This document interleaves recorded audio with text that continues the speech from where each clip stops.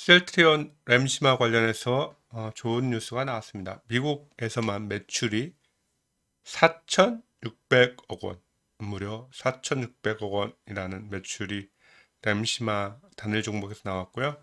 램시마는 인플렉트라라는 이름으로 화이자에서 지금 미국에서 판매를 해주고 있죠. 어, 참 대단한 셀트리온입니다. 그죠?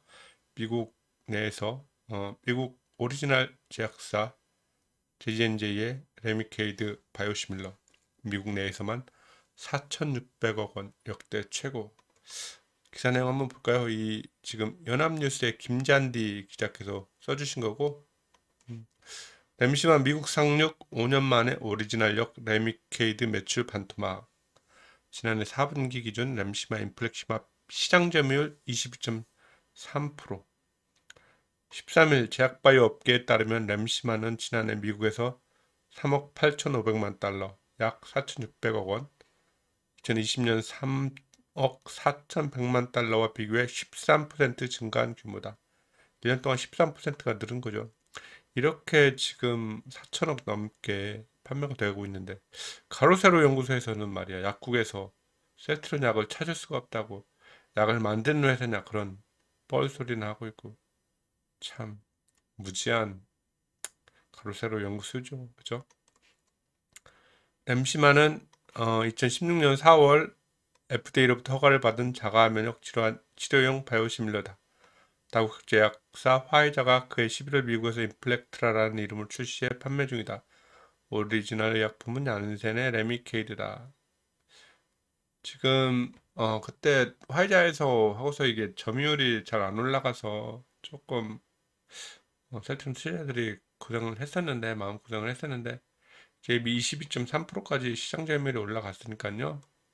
어, 조금 5년 만에 유럽보다는 이 시장 점유율이 더디게 올라간 건 사실입니다. 그런데 이제 후속으로 다시 램시마 SC가 아, 시장 점유율을 차지하는 데는 이 램시마의 점유율이 큰 어, 영향을 끼칠 겁니다. 그래서 어, 지금 램시마 SC를 유럽에서 점유율 어, 크게 지금 나오길 기대하고 있는 거죠. 그 다음에 이제 미국 시장이니까요. 북미 시장.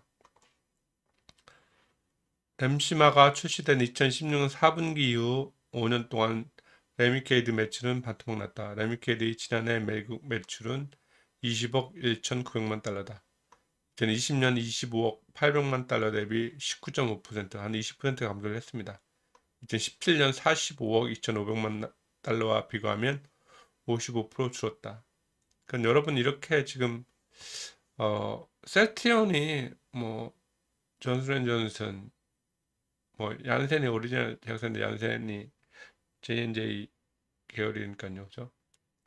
그리고 또 뭐 항체 치료제도 글로벌 bio pharma들과 또 겨루고 있고 그래서 셀트리온이 국내뿐 아니라 아마 아, 글로벌 제약사들에서도 눈엣가시일 겁니다. 우리나라 제약사의 특허가 만료가 되면 어, 셀트리온이 바이오시밀러를 만들어 시장에 진출을 하니까요. 그래서 더 힘든 주가를 어, 이렇게 형성하는 거일 수도 있어요.